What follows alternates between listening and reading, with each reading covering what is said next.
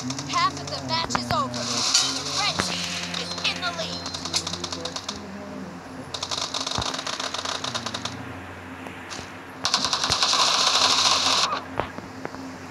Marked a location.